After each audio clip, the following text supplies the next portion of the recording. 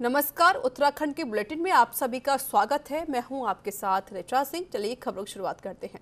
प्रदेश के मुख्यमंत्री तीरथ सिंह रावत ने अपने दिल्ली दौरे के दूसरे दिन केंद्रीय रक्षा मंत्री राजनाथ सिंह से शिष्टाचार भेंट की। इस दौरान सीएम ने ऋषिकेश और हल्द्वानी में डीआरडीओ के माध्यम से एक के कोविड सेंटर की स्थापना करवाने के लिए रक्षा मंत्री का आभार व्यक्त किया।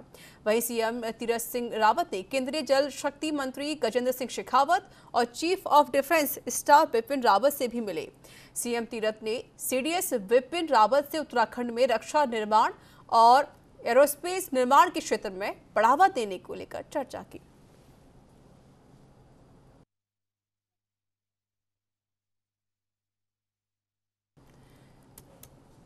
प्रदेश के पूर्व सीएम त्रिवेंद्र सिंह रावत ने ऋषिकेश व्यापार सभा में रक्तदान शिविर का शुभारंभ किया। इस अवसर पर त्रिवेंद्र सिंह रावत ने कहा कि संक्रमण के इस दौर में ब्लड बैंकों को खासी दिक्कतों का सामना करना पड़ रहा है। रक्त की कमी के चलते मरीजों को दिक्कतें उठानी पड़ रही हैं और ऐसे में राज्यों के युवाओं को आगे आकर रक्तदान करना चाहिए, जिससे मरीजों को रक्त की आपूर्ति मिल सके।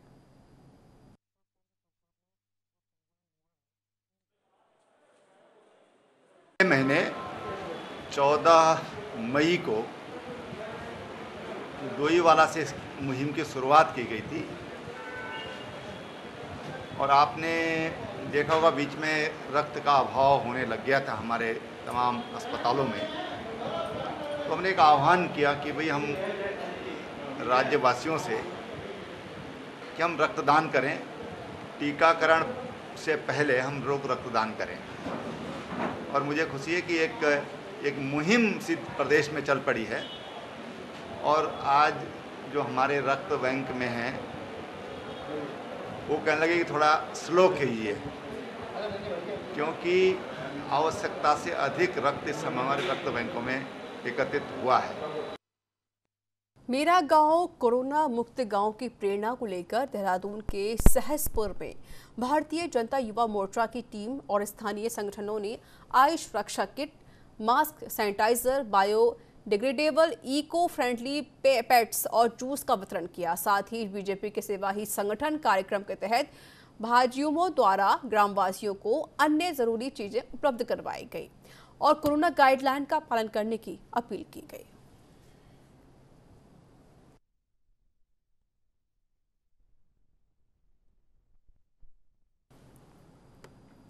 सितारगंज में जीजीआईसी इंटर कॉलेज में फ्रंटलाइन वर्कर्स के रूप में कार्यरत अध्यापकों को कोरोना वैक्सीन की पहली डोज लगाई गई।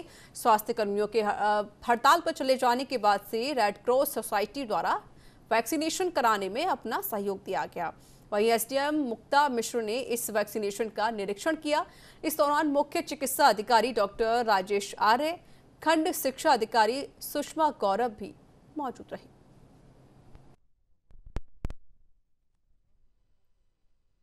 कैंप अर्बन एरियाज़ में संचालित हो रहे हैं। उसमें जो रेड क्रॉस सोसाइटी सितारगंज है, वो अपना एक्टिव पार्टिसिपेशन कर रही है। जहाँ पे जो कमी है स्टाफ की कमी है मैन पावर की कमी है, सहयोग की कमी है, उसकी पूर्ति रेड क्रॉस सोसाइटी के द्वारा की जा रही है।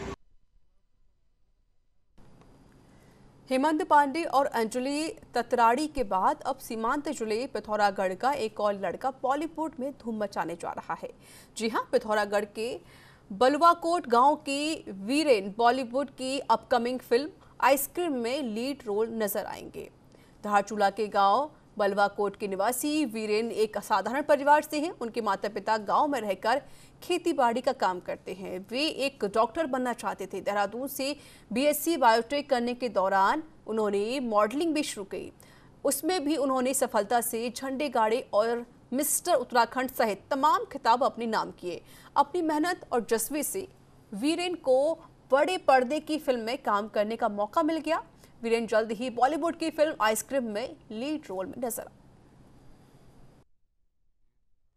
मैं एज एन एक्टर काम करता हूँ मुंबई में। पिछले तीन साल से मैं मुंबई में हूँ। और अभी रिसेंटली मेरी एक मूवी शूट हुई है, जो कि एक बॉलीवुड हिंदी मूवी है। और जिसमें मैं एज अ लीड एक्टर काम कर रहा हूँ, उसमें मेरा एक पुलिस इंस्पेक्टर का कैरेक्टर है, जिसका नाम है आइसक्रीम जैसे कि आइसक्रीम के बहुत सारे फ्लेवर होते हैं, उसी तरह से इस मूवी में भी बहुत सारे फ्लेवर है। हमें, हमारे क्षेत्र के युवा प्रिय भाई, हमारे वीरेंद्र सिंह आज बॉलीवुड में एक्टर के रूप में फ़िल्म रिलीज़ होने वाली है। दीपावली से पहले आइसक्रीम तो हमें, हम, हमारे इस क्षेत्र बलुआकोट के सभी युवाओं और ग्रामीणों में एक खुशी की लहर है, जिन्होंने हमारे सीमांत क्षेत्र धारचूला ब्लॉक के ग्राम सभा बलुआकोट को देश, दुनिया में और प्रदेश में हमारे इस ग्राम सभा का नाम रोशन किया। चमोली में विष्णुगाड पीपल कोटी जल विद्युत परियोजना का निर्माण कार्य कर रही हिंदुस्तान कंस्ट्रक्शन कंपनी के मजदूरों को छह महीने से वेतन भुगतान नहीं किया गया है, जिसके चलते मजदूरों ने अब आंदोलन शुरू कर दिया है। Federation of on India HCC workers union ने टीएचडीसी महाप्रबंधक को ज्ञापन सौंपा और 10 जून तक वेतन भुगतान नहीं होने पर परियोजना निर्माण कार्य पूर्ण रूप से बंद करने की चेतावनी दी।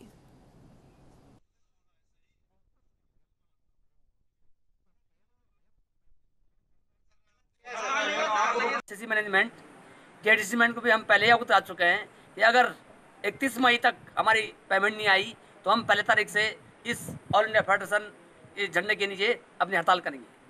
हमने कोविड महामारी में देश में इतनी त्राही माम मची है और हमको वो दरकिनार करके अपने बच्चों की, अपने परिवार की परवाह के बगैर हमने कंपनी का कार्य चलाया है।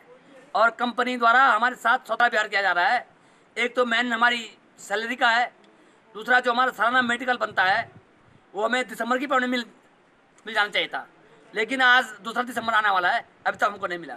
डेली यहाँ पर यही सिस्टम है कि जब तक सारे वर्कर हड़ताल पे, हड़ताल नहीं करते हैं कंपनी टाइम से कभी पेमेंट नहीं कर रही है। और इस बार आपको पता है कोविड पूरी दुनिया में ऐसे फैला है। और हमने ऐसी सिचुएशन में भी यहाँ पे काम बंद नहीं किया, हमने लगातार काम किया। लेकिन कंपनी वही है, फिर हमारा छः महीने पूरा हो गया और छः महीने का पेमेंट अभी किसी को भुगतान नहीं किया। इसमें हमारा जो पिछले साल का जो मेडिकल बनता है और पिछले साल जो 19-20 का जो बोनस है, वो भी आज तक हमको पे नहीं किया गया। कंपनी डेली अपनी मनमर्जी कर रही है। छः महीने से सैलरी नहीं मिली है। तीन महीने की 2020 की सैलरी नहीं मिली अभी है। सितंबर अगस्त सितंबर और अक्टूबर की सैलरी तो टोटल कितने महीने हो गए हैं आंदोलन ये इसको तनख्वाह को न मिले हुए? तनख्वाह को न मिले हुए ये छः महीने हो गए पूरे। सातवां महीना लगा है। सातों महीने प्रवेश करने जा रहा है। हाँ प्रवेश करने का तो तीन ये- महीने की 2020 की है अगस्त सितंबर और अक्टूबर की। खटीमा में वन विभाग ने लकड़ी तस्करों के खिलाफ कार्रवाई की है। दरअसल वन विभाग की टीम ने गाँव पहनिया और बूढ़ा किसनी के बीच तड़के साल के आठ गिल्टों में नदी नदी पर ट्रैक्टर ट्रॉली को जब्त कर लिया। हालाँकि इस कार्रवाई के दौरान तस्कर अंधेरे का फ़ायदा उठाकर मौके से फरार हो गए। फ़िलहाल पुलिस पूरे मामले की जाँच कर रही है। फ़ोन आया कि कोई जो है मुगुरदारा दूसरी मुगुरदारा की एक ट्राली में माल आ रहा करके जो है। तो मैंने तुरंत जो है अपने स्टाफ को जो है टीम गठित करी। गठित करने के उपरांत जो है हम मेरे को द्वारा बताया गया कि जो है पैनिया और बूढ़ा किसी के बीच में कोई ट्राली जा रही है। मेरा स्टाफ जो है तुरंत वहाँ गया और जा करके इसको ट्राली को कैचअप किया। जैसे ही उनने घेराबंदी करी मेरे स्टाफ द्वारा तो जो है वो जो ट्रक मालिक होगा या जो ड्राइवर था वो मौके से फरार हो गया। मौके पर हमारे स्टाफ के द्वारा जो है साल से लड़ी, लदी जो आठ, गिल्टे जो बरामद किए गए हैं। अब इसकी जाँच की जा रही है कि एक लकड़ी आई कहाँ से है करके। खानपुर में जमीनी विवाद को लेकर दो पक्षों में खूनी संघर्ष हो गया। दरअसल एक पक्ष के खेत में सब्ज़ी की फ़सल लगाने का काम कर रहा था और इसी दौरान दूसरा पक्ष भी मौके पर आ गया। और दोनों पक्षों के में कहासुनी के बाद जमकर लाठी डंडे चले। इस खूनी संघर्ष में महिलाओं सहित करीब सात लोग घायल हो गए हैं। वहीं सूचना के बाद मौके पर पहुँची पुलिस ने स्थिति काबू पर की और घायलों को अस्पताल पहुँचाया गया। फ़िलहाल पुलिस ने मामला दर्ज करके जाँच शुरू कर दी है।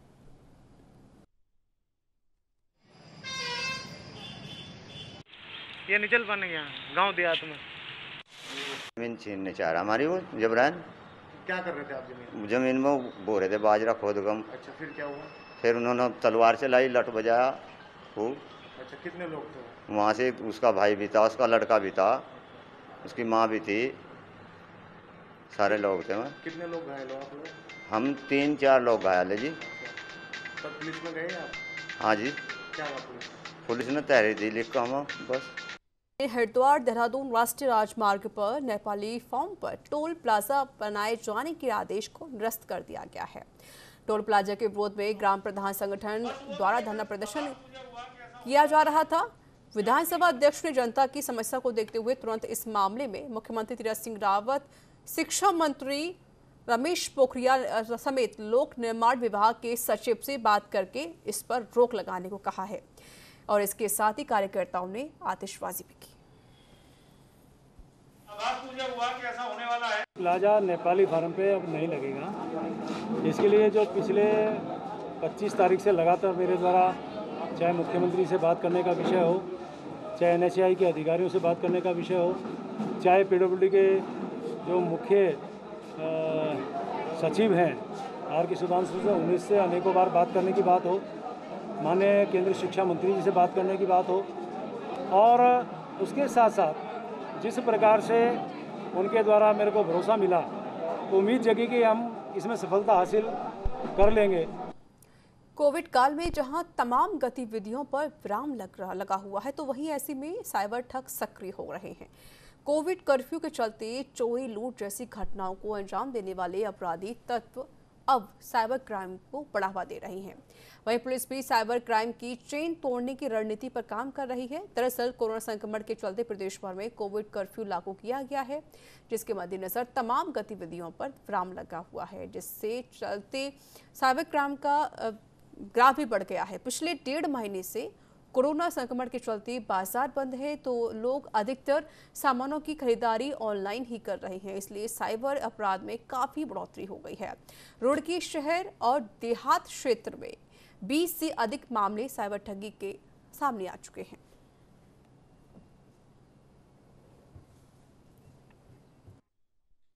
लोगों को जागरूकता भी कर रहे हैं। इसमें बेसिक चीज़ हम फॉलो करेंगे तो इस टाइप का साइबर फ्रॉड में शिकार नहीं होंगे।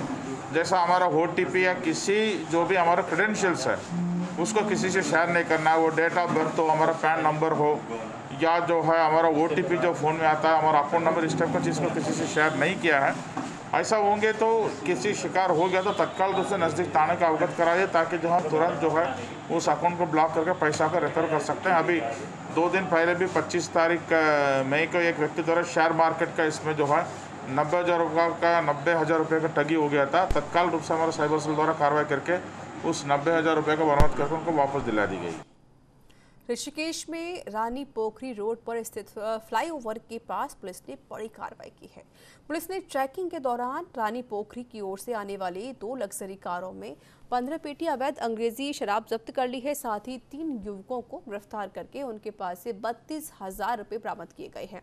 फ़िलहाल पुलिस ने आबकारी अधिनियम के तहत मामला दर्ज करके जाँच शुरू कर दी है।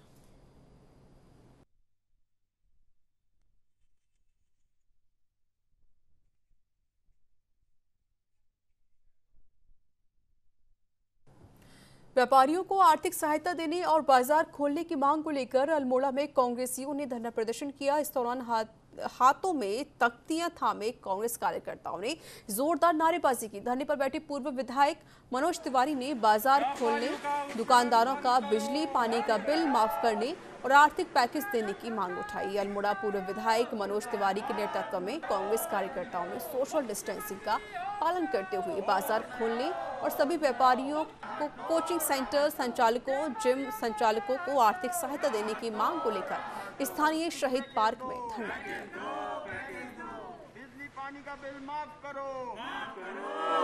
कोरोना महामारी के दौरान प्रदेश सरकार द्वारा, भारत सरकार द्वारा जो दिशा निर्देशन दिए गए थे, उसके तहत व्यापारियों द्वारा अपना पूर्ण समर्थन दिया गया और लगातार दुकानों को बंद रखने का काम किया गया। लेकिन प्रदेश सरकार द्वारा कोई भी उनको राहत न देने के कारण आज उनके परिवार में जीविका का संकट उत्पन्न हो गया है।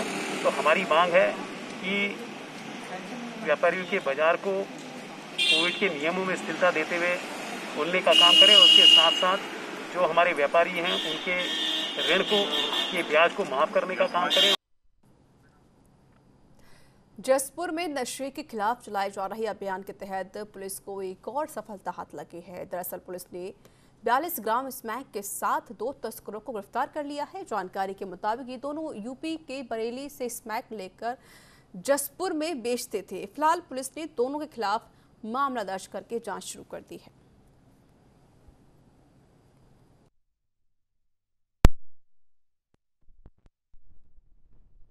और नशे का जो कारोबार चल रहा है, उसमें रोकथाम के लिए ज़िले लेवल पर एस एस महोदय के दिशा निर्देशन पर एक अभियान चल रहा है। उस निर्देशन, उसके तहत आज हम लोगों ने दो लोगों को गिरफ़्तार किया। एक खुर्शीद है, ये काशीपुर का रहने वाला है, और दूसरा इरफान है, वो यहीं लोकल है, ये जसपुर का रहने वाला है, चाँद चाँद मस्जिद के पास। तो इनके पास से लगभग बयालीस ग्राम स्मैक बरामद हुई थी। और ये अभियान लगातार चलता रहेगा क्योंकि नशे का कारोबार यहाँ पर छोटे बच्चों पर और बहुत बुरी तरह से पड़ रहा है।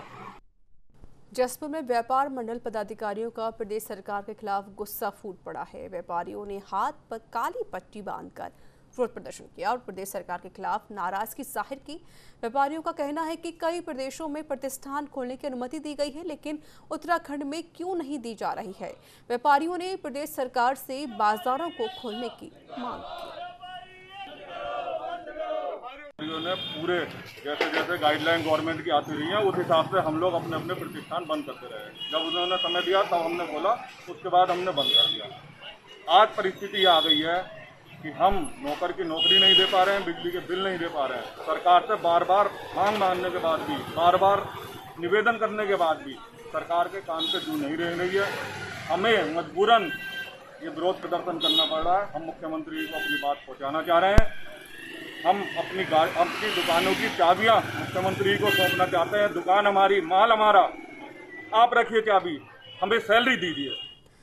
हरिद्वार नगर निगम क्षेत्र के नए वार्डों में सीवर लाइन नहीं डालने से नाराज़ कांग्रेस पार्षदों और कार्यकर्ताओं ने मेयर प्रतिनिधि अशोक शर्मा के नेतृत्व में पैदल मार्च निकाला और बीजेपी सरकार के खिलाफ प्रदर्शन किया। मेयर प्रतिनिधि अशोक शर्मा ने कहा कि आदेश चौहान दूसरी बार विधायक चुने गए हैं, लेकिन क्षेत्र में विकास कार्य करवाने में उनकी रुचि नहीं है।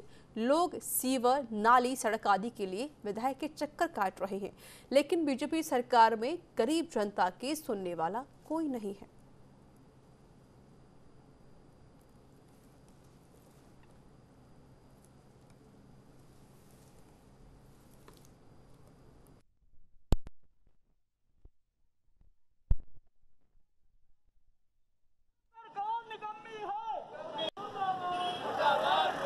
कहते थे कुंभ के बाद डलेगी। विधायक जी कहते थे सांसद जी कहते थे कि कुंभ के बाद सीवर लाइन डलेगी लेकिन आज कुंभ तो निमट गया कुंभ तो इन्होंने निपटा ही दिया बंदर बांट करके। सीवर लाइन कहाँ है? सीवर लाइन जब तक नहीं मिलेगी हम जो है इन क्षेत्रों में लगातार प्रदर्शन करते रहेंगे और सरकार को मजबूर कर देंगे। इनको जो है सीवर लाइन देनी ही पड़ेगी चाहे वो कुछ भी हो जाए जब तक भी सीवर लाइन की मांग पूरी नहीं होगी कांग्रेस नहीं झुकेगी।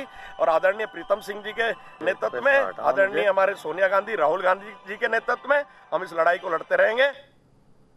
तो इसी के साथ उत्तराखंड के बुलेटिन में इतना ही। देश दुनिया की तमाम खबरों के लिए देखते रहिए न्यूज़ इंडिया। नमस्कार।